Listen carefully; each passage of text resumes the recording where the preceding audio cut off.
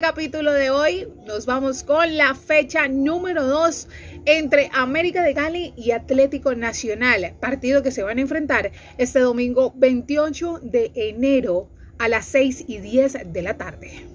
Por parte de América de Cali, en su primera fecha en este inicio de la liga, no empezó con pie derecho, ya que perdió con Águilas Doradas un gol por cero. Atlético Nacional sí lo empezó como debe ser, ganándole tres goles a uno a Alianza.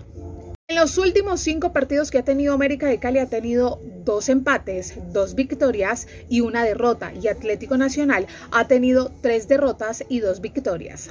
Ahora vamos a las estadísticas entre estos dos equipos. Se han enfrentado en cinco ocasiones. América de Cali le ha ganado solamente en una ocasión. Atlético Nacional y los Verdolagas le han ganado en cuatro ocasiones al cuadro Escarlata. La última vez que América de Cali recibió Atlético Nacional en el estadio Pascual Guerrero fue el 30 de noviembre del 2023. Ese partido lo ganan los verdolagas un gol a cero. Recuerde seguirnos en nuestras redes sociales de Impacto Deportivo, quien informa para todos ustedes, Mayra Meneses.